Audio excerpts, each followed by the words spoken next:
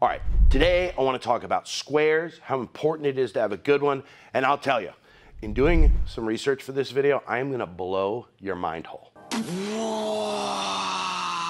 Okay, so having a good square is probably the most, if not one of the most important tools in woodworking as well as machining. Having a good square is probably one of the first tools you should ever buy, and you should never buy a cheap one. They're terrible. They're made out of really soft castings or aluminum, and the markings on them are stamped, which you don't want. Um, you really want a high quality square. Some of the times these squares can be really cost prohibitive. I mean, we're talking 75 to 150 bucks a piece, but I'll show you a little bit later in the video. I found a way to get Blem squares, which are just cosmetically not sellable by these companies, Mitutoyo, uh, Precision Engineering, Brown and Sharpe, some of the best squares on the market. Um, they send them off to this company because they have like a scratch in them or something or a little divot in the casting, but they're super accurate. Now, I've got lots of squares here. We've got some Starretts, which are always rated the best square, but also the most expensive. Uh, Precision Engineering, uh, which is always considered the best value. They're sort of a mid-priced, high-end square, um, but they also make the squares for Mitutoyo, Lee Valley, Brown and Sharpe. We have some T-squares. And then we have some square kits that come with like center finding gauges and compasses. And then I have a layout square.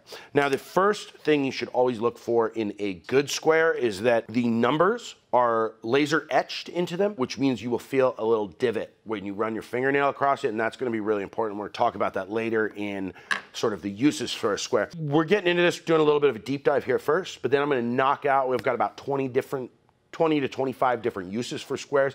We're gonna bang through those and get through this video. So we're gonna just crush your knowledge gap on squares. Let's bring it into the bench here. Let me show you what we have here. Okay, so here we have, this is the six inch Starrett I keep in my vest. And this is a Mitutoyo Blem that I got. These are originally 123 bucks, I believe. And I got this, I think, for $40. One of the things I love about this Mitutoyo one is how easy it is to read. Uh, the Starrett has a very shiny surface, uh, whereas the ones made by PEC, they're the ones who make the ones for Mitutoyo, Lee Valley, Brown and Sharpe, and of course themselves, PEC, have a really cool satin chrome finish, which is really great for reading, very easy to use. Um, and then over here we have our T-squares, uh, same kind of deal. These were all blems that I got, again, 60% off. What I like about T-squares is they are really accurate. So uh, PEC makes them to a, a 1.5 thou tolerance of squareness, whereas their 12 inch squares are 4 thou over 12 inches, which is very, very tight tolerances. Um, but that's the maximum allowance that they'll allow something to go out. Here I have my Veritas layout square. This is just what I use for laying out joinery. Great square. We're not really going to talk about these in this video, but I just want to let you know it's a square I love and is always in my vest. And then that, over here, we have a couple different kits. Uh, now this is a Blem kit from PEC, Precision Engineering Company. Same exact thing as the Star. It comes with a compass a center finder, and then your standard combo square. I love all of these. These are all squares I love and use, and I have them sort of at different tools or in my vest and for different things. Now, let me go through, we're gonna start with measuring and marking. So we're gonna go for all the ways that I use this for like measuring in my joinery and that kind of stuff. And then we're gonna go through all the other uses for a square that's great for like machinery setup and different little tips and tricks I have. We're gonna bang through these with some B-roll and I think you're really gonna enjoy this. So stick with me here. Uh, again, all these will be linked down below in the pinned comment and the description. Okay, so we're gonna get into measuring and marking here, but first you wanna check and make sure that your square is accurate. This is a very simple thing to do. You want to put it against an edge that you know is flat, something that your combo square is great for checking. And you take your square, you put it against the edge, make sure that it's locked down, and you just draw a straight line. And then you flip the square over the other way along the same edge, and you draw a line right next to that one. And you want to make sure that those two are parallel to each other. And as you can see, this one perfectly is. And it's the same thing with your small squares. And again, these were the ones I was saying, these types of squares are great for joinery. Uh, I use these tons for dovetails and I'll show you how in a little bit. But same thing for these, just make a mark, flip it over, just like that. And those both are perfectly parallel to each other. So we know that we have an accurate square. First thing I wanna do is show you how to make an accurate mark at a specific distance. So let's say that I wanted to make a two inch mark, you're using a tape measure or your square to make a mark. I'll set this at two and a half inches here. Take that, and I'm just gonna make a little tick mark right on the edge of my board. There we go, we have our tick mark, and now let's say I wanna make a, strike a line across a board. I just find that tick mark, and it's very easy to do by just sliding your marking knife, and you'll feel it click in there. And then you slide your combo square up to it, and then you just make a line. And sometimes I'll do one kind of light at first because grain can have a tendency to wander when you're going long grain. Across the grain, it's much easier. And then I'll just make a little bit of a darker one. And you get a perfectly accurate mark at exactly that measurement we did. And you can look at it. And we'll take this and you can see sliding my thing all the way across. It's perfect every single time. The next thing I love to use squares for, this works obviously with T-square or a combo square, is drawing a long straight line down a piece. Now, one of the great things about squares is that they really have thought of everything on these. Now, you see this line here, that's for locking your blade into the casting of your square, but it's also great for locking a pencil into the edge and accounting for the width of the lead. Because if you put it on the edge here, you're gonna be off by at least half the width of your lead. But if you lock it into your little gap here, it's very easy to draw a line without your pencil slipping off and it accounts for the thickness of the lead. So that's a great way to do that. You can do that for all sorts of things. Dados, you need to draw a line for where you're gonna put your screws if you're putting together a cabinet. There's a hundred million different ways to use that. Now another great use for squares is a depth gauge, uh, especially for mortises or dados. You need to figure out, you've already cut your mortise, you need to figure out how long your tenon should be. You can simply take your square, stick it into your mortise, slide it down, make sure you bottomed out, and then that is exactly the depth that you make your tenon, and this works, of course, for either squares. Just pop it in there, and then you can find an exact depth for a tenon. Now, another great thing about squares is all the tick marks are actually engraved into the metal, and actually you can hear it here. But what's awesome about that is when you need to get a measurement, now this part of your square is also gonna be square, so you can put that against a board, get it flush with the edge, and then let's say you needed a mortise to start right at three inches. You can use that tick mark to put the edge of your marking gauge in.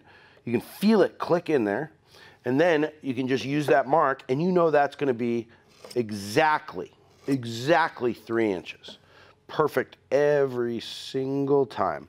And you can use that for transferring measurements to different boards. Uh, what's also great about those tick marks is let's say you needed repeated measurements with dividers. I use these a lot with dovetails and I needed a one inch tail and I needed to make sure that that was one inch. I can click that in there. It's very clicked in. And then I can spread that out.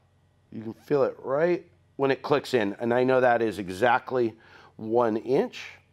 So we'll put that in there and boom, measure that exactly one inch. That's the great thing about good squares is the tick marks in the ruler. Now here's a few just measuring things that a square can do that are absolutely incredible. One is when you're doing joinery, especially dovetails, uh, things that are hand cut, you need to make sure that there's nothing in the middle that's gonna keep that from sealing up. So you can put it and drag it across and make sure there's no humps in the middle. You just look in there, make sure that this doesn't come off the edge, and that's great.